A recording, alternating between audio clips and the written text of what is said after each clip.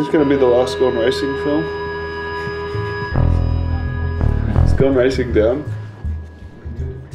Who's who's listening to this? Sam?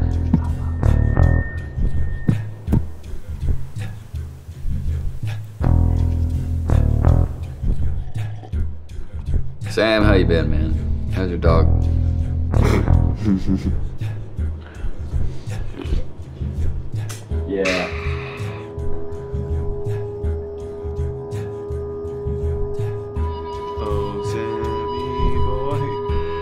Lifetime Grand Prix is a series of races, three of which are gravel and three are mountain bike. It's pretty simple actually. It's there's 30 riders in each, in the men and in the women. And if you get first place, you get 30 points. And if you get second, you get 29, etc. Yeah, they're like the biggest gravel off-road races in America. Going for the title, there's like 250k on the line. Electric toothbrush. It's like my uh, New Year's resolution right here. Oral hygiene. So in 2019, I was like totally, totally lost. Like I didn't know what I was gonna do. I didn't know where I fit in. I didn't know what the future looked like. I kind of assumed I was done after that. Get a little smoke in here. Simulate that Kansas dust. oh, this is not a healthy sport. Like the biggest revelation of the year was like we, you know, we started the alternative calendar. I was like, this, this is interesting. It's different. It's cool. Um, and more than anything, like I enjoy it. We'll say I feel like crap today, though. I'm already swinging. I don't know. I did a big week last week. It's been like, yeah. Was watching an old diesel truck try and get up the hill. Ever since, it's like every morning, like, come on. Bunch of black smoke coming out the back. It's like, whew.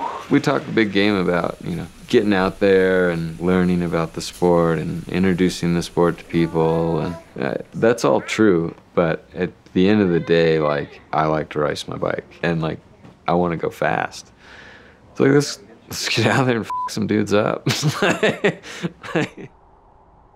Road racing in America has faded in a lot of ways. Like the, the big stage races, you know, like Colorado, California, Utah, um, they were all hurting pretty bad. And then the pandemic happened.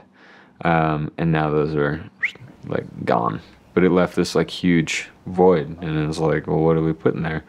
Gravel, gravel raised its hand and was like, hey, uh, we're, we're cool, we're fun, we're different, we're inclusive. Um, you can do it all over the place. And it all sounded great on paper. And then we all started racing, and it turned out to be hard as f- so, so here we are. Can you beat that up? That was, it's kind of hard, man.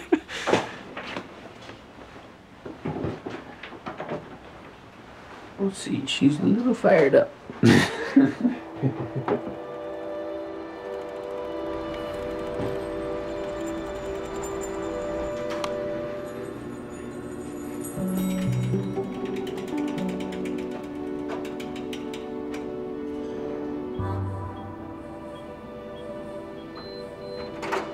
We are in Keystone, Colorado, Summit County, um, at my training camp. Côte d'Aspin, dans 6 ans, the Côte de Vallon. I haven't really had any structured training for 18 months, maybe two years. Um, and in the last like 10 days, um, I don't know, flip switched and I just feel like I need to get out there and do some real training. If you want to win one of these things, you gotta train hard.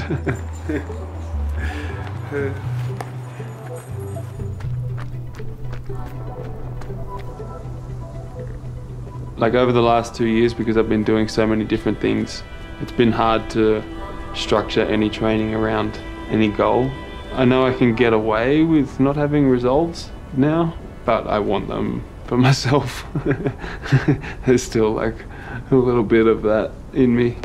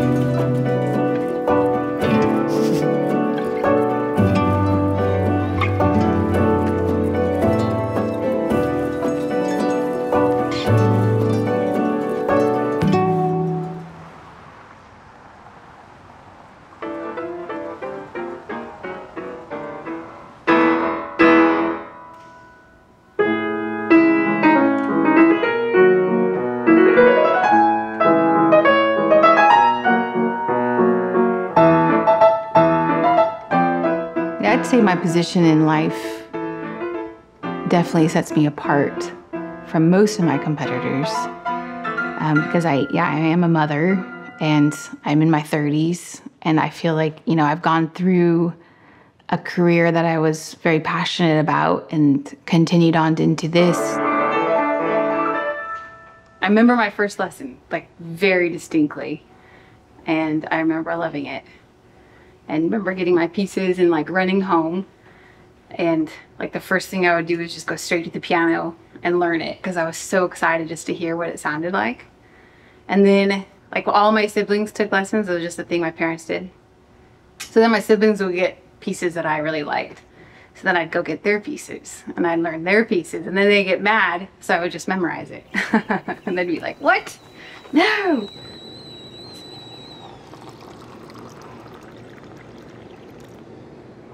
have you got on the cards for training this morning? Uh, just long and steady. Yeah, I did a workout yesterday, so just gonna beat the heat and get some hours in. You know, when it was time to move into something different, I did, and I found joy in something else. And someday I'll be done racing, and I'm excited just knowing that after music I found the bike. I'm excited to see, okay, well, what am I gonna find next?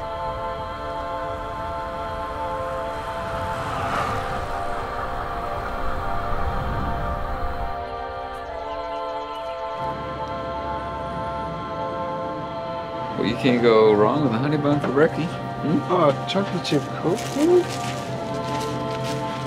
Oh, and chocolate milk. Yeah.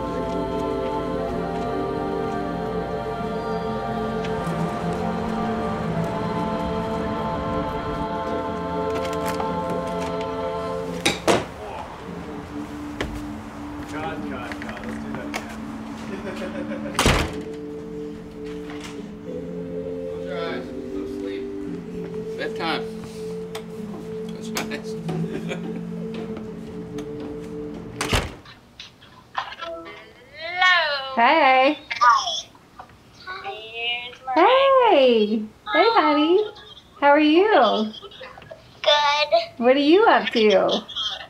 I am not much. Not much? Playing out here. Sounds like we're fun. gonna do yeah, pretty much different things. Okay. See you later. Are you gonna hit the button or me? Uh, you. All right. Bye. Love you. Love you too.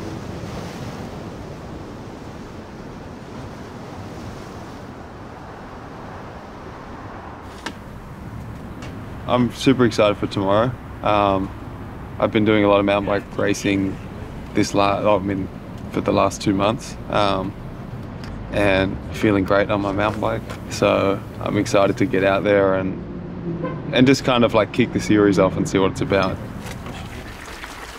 when EF and Tibco came together for the women's program, we had this like weird thing, the alternative program going on, right?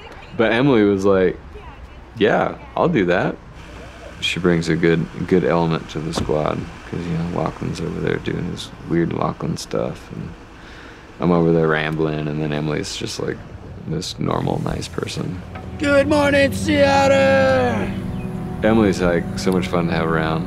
I think I'm gonna go ahead and call it my first because my that the first was yeah it was I didn't I did it just to get on a mountain bike and it was like a six hour race and I decided I was gonna do half of it because I had to get home and pick pick up my daughter from school. This is technically the first one, yes. Sick. Chocolate milk. Yeah. Nice. That's the secret for mountain bike racing. Uh, yeah, I'll take it. I did make a bit of a mistake in lining up and ended up at the back, which was definitely not a deal, especially in a mountain bike race, which I knew they started out fast, but it started out really fast.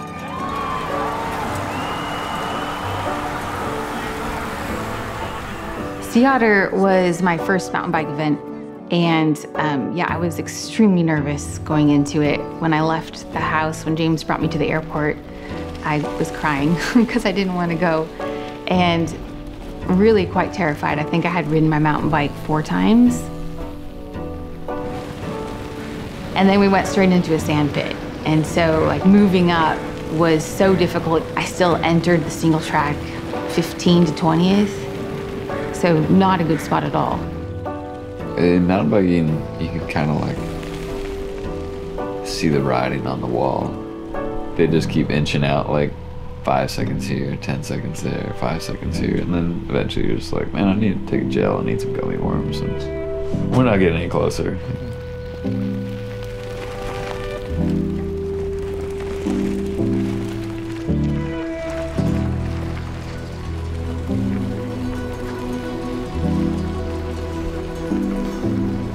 Yeah, the thing that separates like good mountain bike racers from like fake mountain bike racers like me is like I can always follow, but like when I get out ahead, then it's like I get I get found out.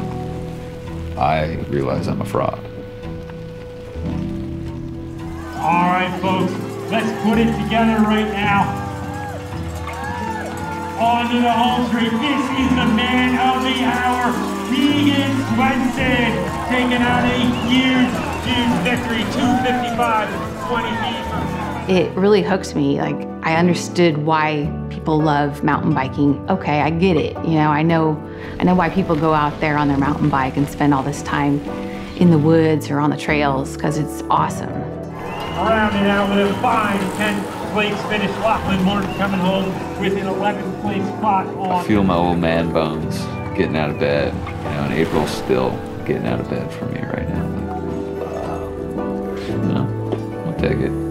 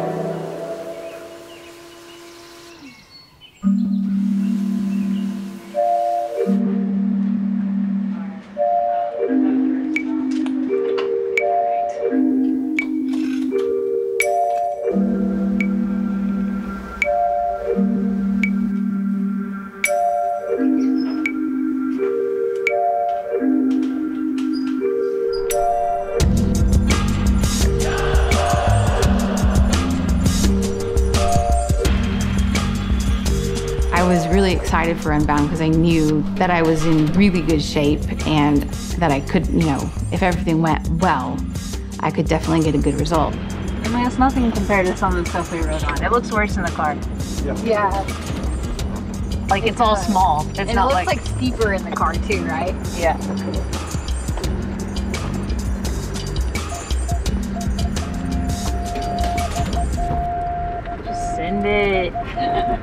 We kind of screwed up, to be honest. You know, like you start planning for Unbound like three weeks ahead of time. You're like, wow, we we're really dumb.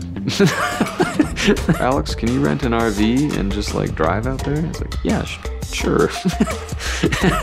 yeah, that- that'll be fine. That'll be fine.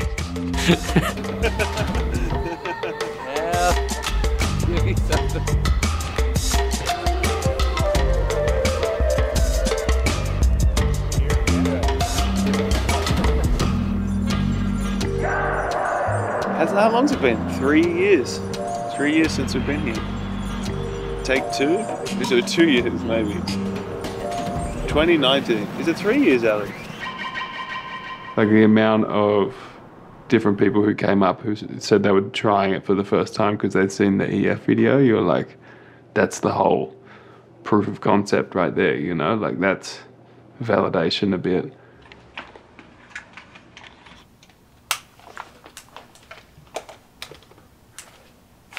I never know what to do with all these cords, so.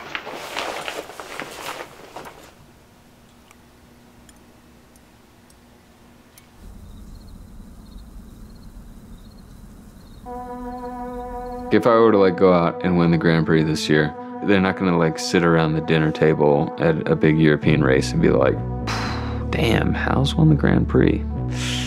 He's going good. It's its first year. This episode of Cool Hunting is brought to you by Pretty Great Instant Coffee. coffee on the move. Instant coffee that actually tastes good. Rebel fans, how are you all feeling this morning? Most of the athletes racing these events, like we don't know where it's going. You know, maybe in 20 years, someone would like people look back and they'd be like, yeah, this, that first year of the Grand Prix, that was pretty badass. You know, I mean, those guys didn't know what the hell they were doing, uh, and it was kind of hokey, but it was cool they were doing it because look, look what it is now. Yeah, Unbound was frustrating. It's just kind of the race never happened for me. it all just unraveled and just. I still don't, I'm still unsure of how the crash happened. Rebel fans, are we ready? The 200 miles starts in five, four, three, two, one. I'll fast forward a little bit. Lachlan crashed. It busted his junction box, and like, what that means is he had one gear, and it wasn't a good one. It was fine, like it was moving in a good spot, and then we kind of got lined out. Next minute was on the ground at like pretty high speed.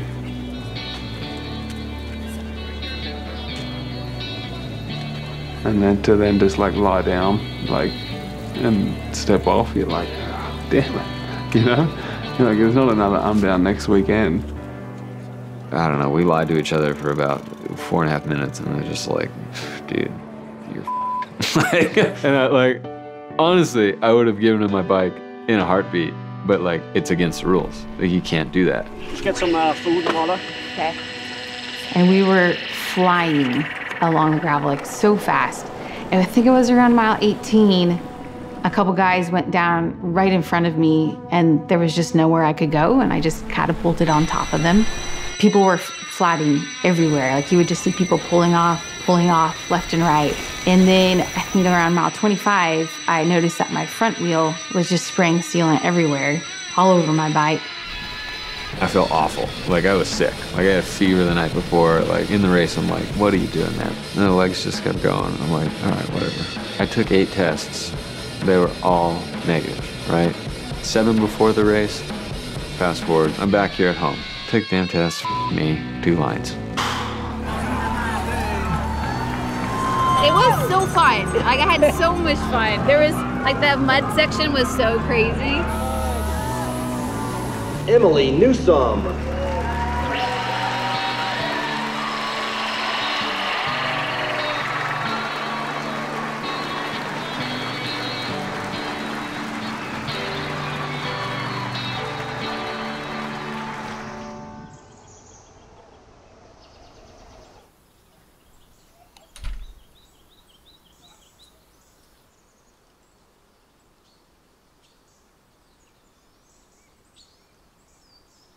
So tomorrow we are on stage three of the Grand Prix series, and it'll be Crusher and the Tushar. So, um, ten thousand feet of climbing in sixty, I think it's eight or nine miles. So, it'll be hard. For the series right now, I'm in fourth place, but I'm pretty close to third. Um, so yeah, I'm hoping to close that gap more and set myself up to hopefully get on the podium I mean, obviously, I'd love to win it all. I just need to hone my mountain bike skills a little bit, and then it's possible. We are in Wilford, Utah. Milford. Milford. M. We're in Milford, Utah, with an M, uh, just outside of Beaver, Utah, and it's the third round of the Lifetime Grand Prix Series, the Crusher and the Tushar. Of all the races in the Lifetime series, I'd say Crusher is probably like tailor built for me. Um, it's just two like hour long threshold efforts at altitude um, on a gravel bike. So I left Colorado at the end of January, and then when I got home after Crusher, um, like mid July, I think I'd been home for less than two weeks. I injured myself. Like I just um, injured my ribs and my back, and I'm very stubborn when it comes to those things. And um, I was like, ah, fix itself, fix itself, and it just progressively got worse. I was kind of unsure if I could race, and, and then Alex cracked my back. I'm a chiropractor.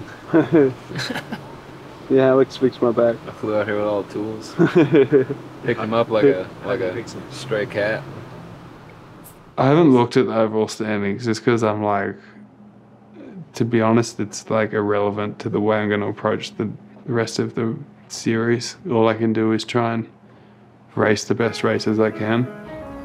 If you're in it, you're trying to win it, right? And like, Keegan's doing a pretty f***ing good job of winning this thing.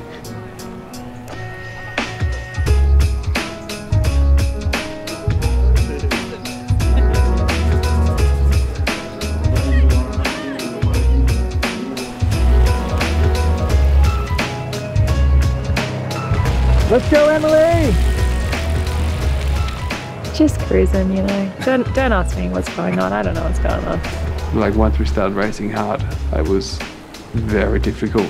Like I was just doing very shallow breaths. In the end, the only way I could manage was to just put it in a ridiculously big gear and just real slow so I could just use my muscles and not, not my like lungs.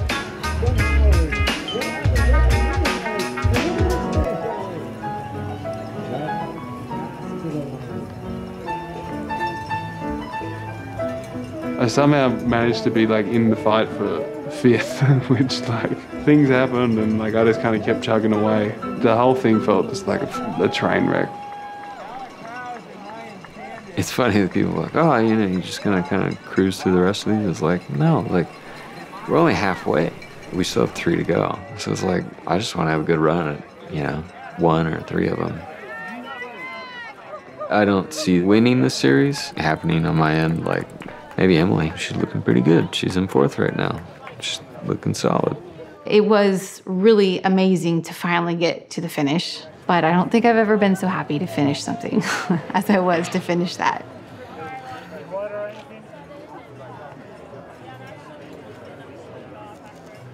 So now I'm gonna get emotional. I came there, I did the best that I could do with what I had, and I have to be proud of that. Not letting other people's opinion or how other people might feel seeing, oh, I came in ninth. She's a world tour rider, you know, she should be better. And I'm sure people don't think that, but it goes through your head, you know? I want to be the best that I can be at it.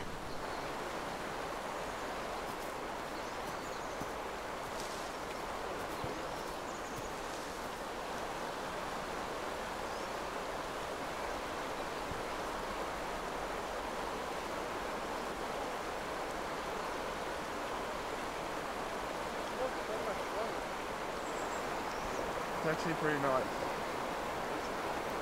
Pretty great.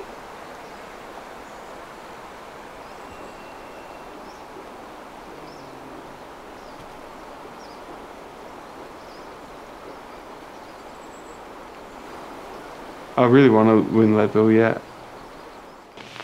Yeah, I'm going to try. I'm going to go in with the mentality of trying to win it um, and see where that gets me. Like watching the tour this whole July, I've watched every stage, got up early, and like I've like thoroughly enjoyed it. And it's the first time I've watched it since I was maybe 20 that I felt like I wanted to be there. There's things I haven't achieved in racing that um, I'm not sure if I have the ability to achieve, but I at least want to like find out um, before I fully step out of like competitive cycling, you know. Howes moving pretty good? Yeah. Yeah. Yeah, Howes like he's never had a really great race at Leadville, but um, if it comes together for him tomorrow, he'll be sniffing around.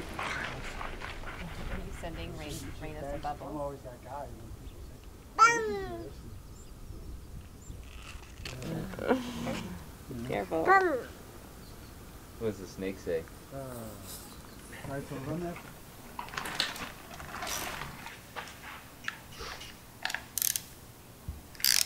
Heather, can you help with a bike or something? No.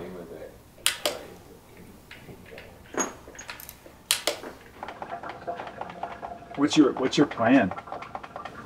Follow it. Follow it. Like if you're with Keegan, I feel like you just gotta be a dick. Just sit on. Yeah. I mean, the thing is, with this race, it's like you have to be good enough to get to power line with the front group with spending the least energy possible. And then hope whoever you're with is shitter than you.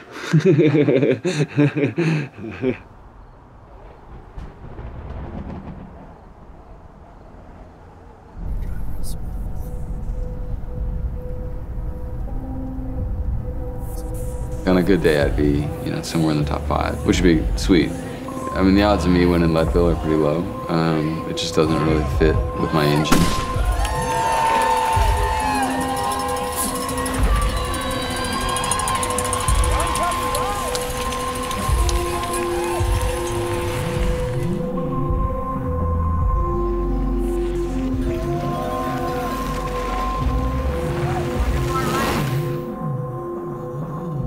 Yeah, Leadville. Um, Leadville was a disappointing one.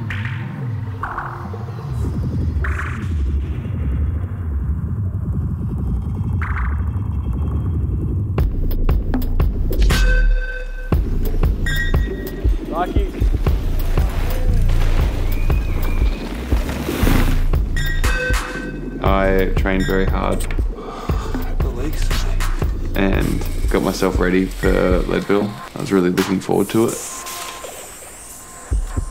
I, I was on like a good day. You're super spread out. Yeah, I spread it out. And then flatted on power line. I had to like plug it and then gassed it. Took like four or five minutes. But I was like, all right, I'm just gonna race as hard as I can and see how far forward I can go.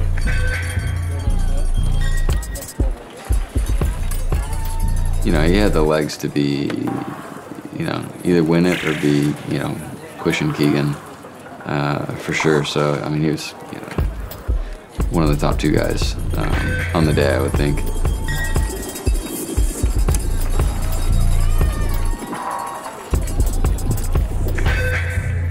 but it was a frustrating one for sure.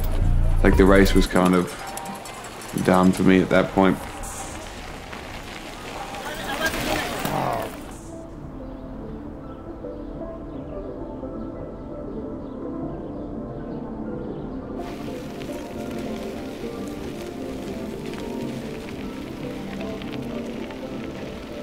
Leadville's never been that nice to me. A flat double check. It was like a wire in the grass. It hooked around my foot. Didn't see it. You slap your head. No. I don't think so. I got ribs moving around. Like total freak accident. Got my foot caught in a wire and just went from like 35 miles an hour to like no miles an hour. Like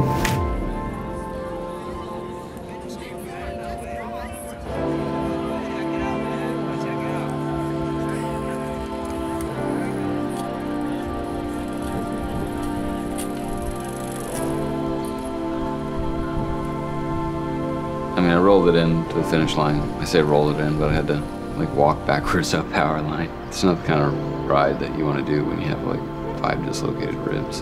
And that, that really sucked.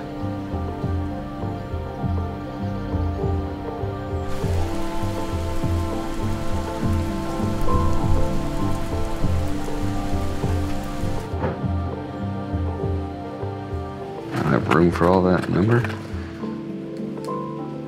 I did a cross race, I lost all the skin on my hands. That's the funny thing. It's like last weekend, you were doing a cross race. I was riding my bike for three days. I've still got all my skin. You raced for an hour and lost like all the skin on your hands.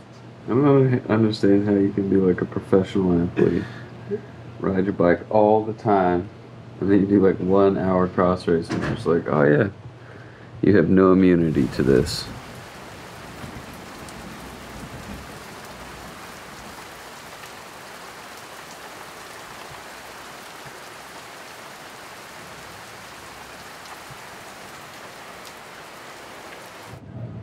Oh, we got a lot of time till we get there too. Yeah. Two hours? Yeah, we're all right. Oof. I got booby trapped at the last Grand Prix. I got got got bit by a snake in the grass. I was like very hurt, but I didn't know what was wrong, you know? Then you go to the hospital and they're like, yeah, nothing's broken. And you're like, okay. Why do things move when I breathe? Just have to like keep reminding myself that if you like go down the list on paper, like I'm, this suits me pretty well. Going into Chequamegon, honestly, I didn't pay attention to the standings very much because that doesn't work well for me. I left that race a bit confused and like I called James up and you know, I'm gonna quit. If if I'm fighting for 14th place, I'm not doing this anymore because I want to win. It's been like a long year, um, and I've done like more than I ever have before. And I could definitely feel like the last month, I'm like, okay, I'm getting tired now. The bikes were just demolished. We were demolished. Like we were just like covered head to toe, inside and out, um, with mud. And so we we just bounced out of there and like, you know, ruined a Airbnb shower.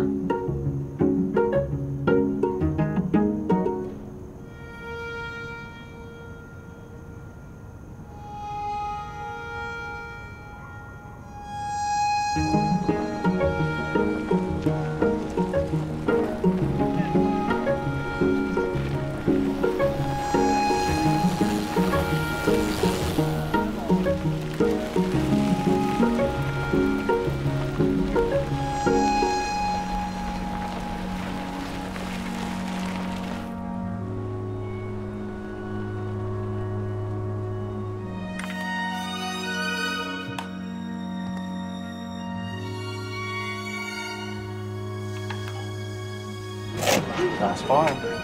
I know. This is your last race of the season. Yes. I mean, maybe I do some fun stuff in December or something, but yeah, I'm pretty ready to chill out.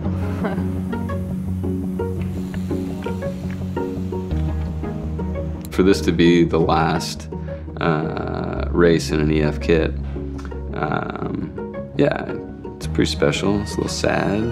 I've been like with Team EF in various iterations uh, since I was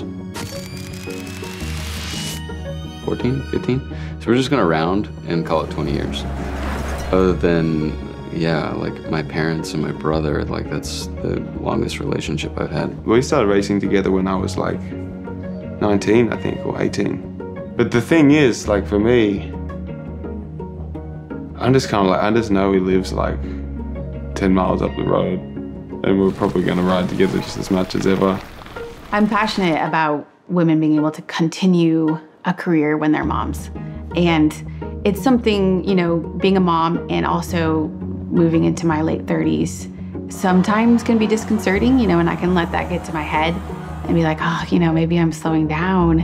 I'm gonna hit 40 in like, gosh, a year and a half. It's been a year of discovering what I wanna do and coming to terms with what I can't do anymore. I'm kind of aware that like I'm not going to do this forever, so I feel like obligated to do as many things as I can, like while I can. I think I've kind of learned that like more of a good thing isn't necessarily better, you know.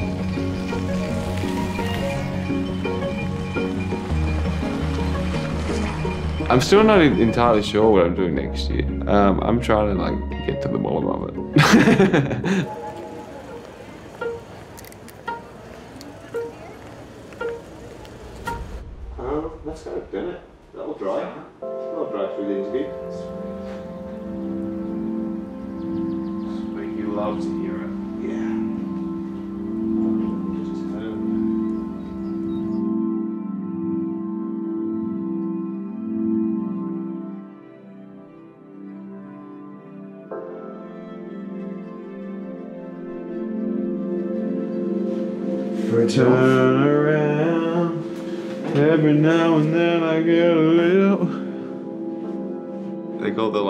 series because it takes a lifetime. Prix over. Grand Prix. battery life. Nice. Awesome. Yeah. Awesome. Sweet. Sweet. I think we can wrap there.